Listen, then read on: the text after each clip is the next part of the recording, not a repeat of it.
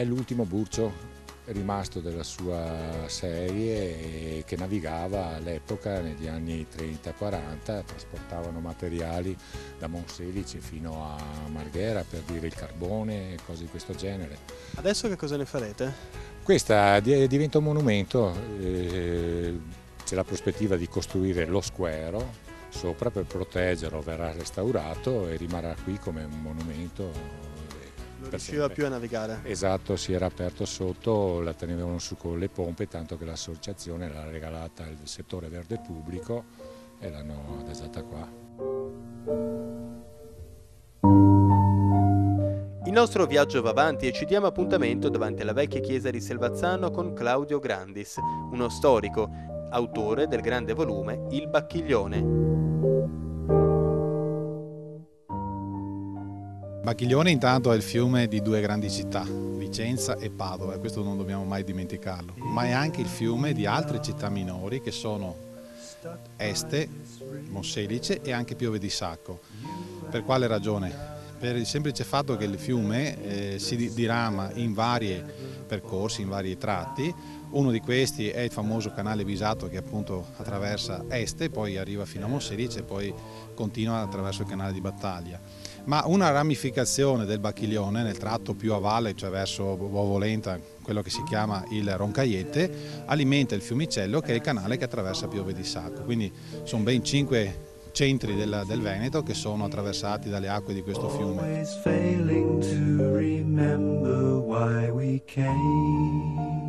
Ma perché una volta i grandi centri abitati sorgevano lungo il fiume? Per il discorso della navigabilità cioè non è un problema di, di eh, rifornimento idrico ma è soprattutto un problema di navigabilità, cioè le vie d'acqua sono state fino alla, a tutto il Novecento, all'inizio del Novecento, la via principale per il trasporto delle merci, delle persone, per lo spostamento, per il movimento.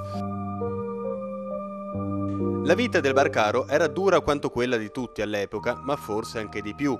Eppure non ce n'è uno che non la ricordi con lacrime e orgoglio. In un'epoca in cui vedere Venezia era un sogno, neanche in viaggio di nozze si arrivava così lontano, loro arrivavano in piazza San Marco dal cuore della città, cioè dall'acqua. Dalla metà del 1900 le strade si fanno via via più comode e sicure, migliorano i trasporti e la navigazione sui fiumi piano piano scompare. Il Bacchiglione, il Brenta, l'Adige diventano semplici scolmatori delle piogge, utili tutto al più all'irrigazione dei campi. Resiste qualche vecchio sabbionaro che scava il fiume per estrarre la sabbia, curando nello stesso tempo la pulizia dell'alveo, un'opera importante per garantire lo scorrimento delle acque.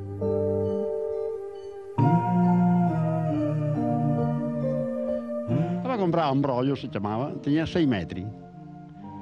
E dal 59 che mi comprare il primo scavatore. Era, era sia cavallo, questo motorino, questo scavatorino, e era perché era il cavallo mi steso qua stanga, no? E scaricavo con scavatorino. E dopo che mi comprare il grifone, che era, era più grosso, un 45 cavalli, e dopo dal 66 ora che mi attaccava levare la sabbia qua a pompa aspirante e ora facciamo già 150 metri di sabbia al giorno. E era da quando che abbiamo comprato il 66, che è l'anno del famoso dell'acqua che sta enorme. L'acqua. Anche il pesce da tempo è molto diminuito, soprattutto dopo l'apertura di un canale sotterraneo che al riparo da occhi indiscreti porta nel bacchiglione gli scarichi delle concerie vicentine. E dopo che ha aperto quel famoso canale um, al cimitero Cervone Santa Croce a Monte Caldea, è sparito tutto, perché praticamente il canale sotterraneo porteria tutto quanto eh, l'acqua delle concerie di Arsignan. Sicché non c'è più scardo, non c'è più erbe, non c'è più niente.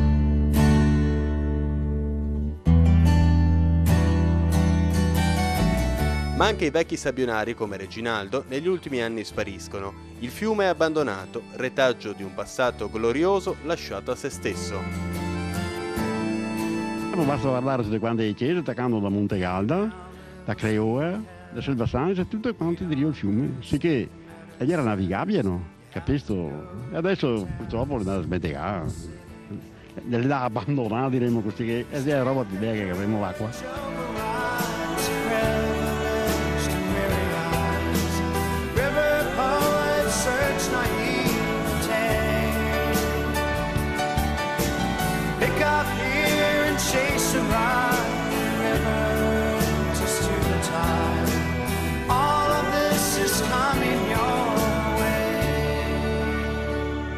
Questa alluvione è capitata in un sistema che sostanzialmente non ha visto attuati nessuno dei grandi interventi indicati da tempo. Si parla di rischi idraulici in questi fiumi lasciati in abbandono, il problema è che se ne parla solo. Aveva detto qualche anno fa Luigi Dalpaos, eminente studioso di idraulica dell'Università di Padova. Poi, il 31 ottobre 2010, una serie di condizioni sfavorevoli. Vento di scirocco, il caldo, il disgelo, le forti piogge e scatenano l'inferno. I fiumi rompono gli argini, l'acqua invade tutto. L'alluvione colpisce 131 comuni coinvolgendo una popolazione di oltre 500.000 abitanti. Gli sfollati sono 6.670, 15 le rotture di argini, le esondazioni e gli allagamenti 29 su una superficie complessiva di 140 km quadrati. Muoiono sotto la furia dell'acqua 230.000 animali d'allevamento. Il rischio c'era ed è stato sottovalutato. Come si è sviluppato il nostro territorio negli ultimi anni? Eh, il Veneto ha avuto una grande esplosione economica negli ultimi 30-40 anni, abbiamo però dovuto pagare uno scotto, un'urbanizzazione uh, un eh, selvaggia, una forte antropizzazione del nostro territorio e non dimentichiamo un, un esplodere di piccole e piccolissime aziende eh, in maniera incontrollata che hanno in qualche modo compromesso il nostro territorio i, i, fiumi che prima avevano un alveo cosiddetto naturale e che convivevano con l'assetto territoriale e urbanistico del tempo eh, sono diventati un problema. E sono diventati un problema perché abbiamo costruito a ridosso degli argini, abbiamo addirittura costruito sulle sommità arginali, abbiamo costretto eh, i, i, fiumi a, a, a, a, convivere, a condividere eh, spazi sempre più limitati, abbiamo cementificato eh, moltissimo e questo um, oggi eh, in, in, qualche modo determina alcune situazioni di criticità. Oggi 108 comuni del Veneto restano a rischio alluvione. Da un'indagine di Legambiente risulta che solo il 45% dei comuni interpellati ha svolto un lavoro di mitigazione del rischio idrogeologico. In questi giorni i comuni e la Regione Veneto hanno iniziato un lungo braccio di ferro sui finanziamenti per consolidare gli argini e mettere in sicurezza il territorio. Ieri i sindaci sono scesi in piazza guidati dal primo cittadino di Ponte San Nicolò, Enrico Rinuncini. Ma noi eh, sindaci solitamente utilizziamo le carte, utilizziamo le lettere, chiediamo convocazioni, riunioni con tutti gli enti, sia da un punto di vista tecnico che politico. E questi sono, sono tutti gli strumenti che sono stati usati dall'amministrazione comunale di Ponte San Nicolò e dalle amministrazioni vicine per chiedere una cosa molto semplice, la messa in sicurezza dei nostri argini. Sono passati praticamente 5 mesi, sono passati 150 giorni e dal 2 novembre, notte in cui ha rotto l'argine a Ponte San Nicolò, non è ancora successo nulla se non la chiusura della falla a Roncaiette. Tutto il resto, tutti gli altri punti del nostro territorio comunale compromessi, in particolar modo l'infrazione Roncaglia, dove abbiamo circa 8.000 abitanti, che è, punti, è, il punto più densamente popolato di tutta l'asta del Bacchiglione, da Padova fino al mare, lì abbiamo un punto veramente delicato e molto compromesso nel quale chiediamo di intervenire. Sono stati finanziati solo i lavori per riparare le falle, insiste anche Anna Lazzarin, primo cittadino di Veggiano. Ci spiega, dati alla mano, come finora non ci sia alcun intervento strutturale per mettere in sicurezza tutto il tratto del fiume che insiste sul suo comune. Anzi, ci dice, dall'alluvione di novembre, se possibile, la situazione è peggiorata. La Regione e il Genio Civile stanno stanziando fondi solo per l'emergenza, dice il sindaco di Veggiano. Non c'è un programma complessivo per mettere in sicurezza il nostro territorio. Gli stanziamenti previsti per le opere urgenti sono le opere di somma urgenza che sono già iniziate a novembre nel periodo dell'alluvione e che adesso la, lo staff commissariale ha, approvato la copertura finanziaria perché quando si lavora in emergenza non si ha copertura finanziaria ma si tratta delle stesse opere di novembre. Come sono lontani i tempi in cui il fiume era luogo ricercato, fonte di economia e benessere? In questi comuni c'è chi svende la casa per trasferirsi in località più sicure lontano dalle acque. Prevediamo di avere a breve una emigrazione di un certo livello. Noi che per gli ultimi anni siamo sempre stati un paese di forte immigrazione perché siamo aumentati notevolmente negli ultimi anni. Per paura perché il nome Vezzano, paese alluvionato e paese soggetto, soggetto all'alluvione porta senz'altro un'immagine negativa, insomma, per cui abbiamo tante case in vendita e abbiamo per esempio un patrimonio edilizio costruito e bloccato perché eh, il mercato si guarda adesso perlomeno nell'immediato da, da, da, puntare ancora su Beggiano.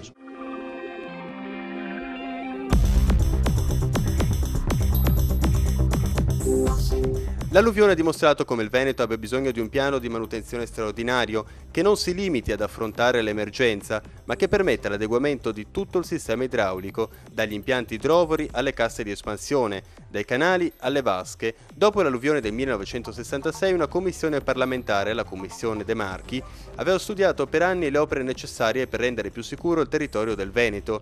Secondo gli esperti era necessario realizzare alcuni invasi a Monte di Padova e Vicenza per trattenere l'onda di piena opere proiettate in alcune decine di anni, ma nessuna è stata conclusa.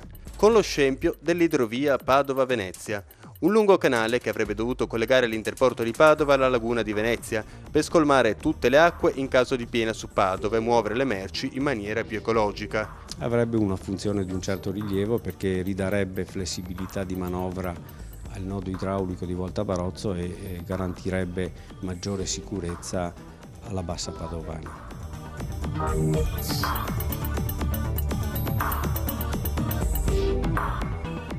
L'interporto, situato nella zona sud-est della città, oggi funziona a pieno regime. Circa 1200 aziende e più di 25.000 addetti lavorano in un'area che si estende per 11 milioni di metri quadri. Ma l'idrovia è stato un vero e proprio buco nell'acqua all'italiana. Per quest'opera sono stati spesi dal 1963 al 1992 quasi 300 miliardi di lire. Oggi l'idrovia tra Padova e Venezia è costruita per poco più della metà. Dei 27 km dell'ipotetico tracciato ne sono stati realizzati circa 17. 13 km partono dall'interporto padovano nella zona industriale e si fermano a ridosso del fiume Brenta nella zona di Vigo Novo. Altri 4,5 si spingono dalla laguna fino a Piazza Vecchia, dove l'idrovia all'improvviso scompare. Nel mezzo 13 inutili viadotti. Mica male spendere 154 milioni di euro per far nuotare quattro papere.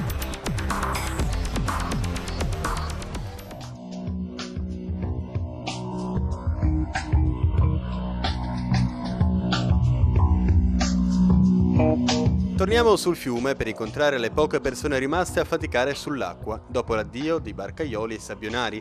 Sono i tanti appassionati che con barche di ogni tipo percorrono in lungo e in largo il Bacchiglione. Sul fiume non si può non parlare di sport. Con noi siamo sull'imbarcadero della canottieri di Padova, Rossano Galtarossa. Qual è il tuo rapporto con, con il fiume? Beh, con il fiume Bacchiglione direi che da, dall'85 che che lo, dice, lo, incontro quasi quotidianamente, inizialmente dopo insomma, piuttosto spesso, ho fatto salvo poi i periodi in cui sono stato eh, fuori Padova per impegni con la, con la nazionale, con le competizioni. Rossano Galtarossa, quattro medaglie olimpiche e quattro mondiali, è un vero e proprio mito del canottaggio. Fa parte della società Canottieri Padova, anche questa pesantemente colpita dall'alluvione. Rossano ci mostra il livello dove è arrivata l'acqua, 20 cm sopra la quota dell'alluvione del 1966, sfondate decine di barche. Eh, anche noi come, come società, come Canoti Ripado abbiamo avuto tutta l'area che sono quasi 50.000 metri quadri eh, sommersa da circa 2 metri e mezzo d'acqua, quindi abbiamo stimato qualcosa come 100.000 metri cubi d'acqua e fango.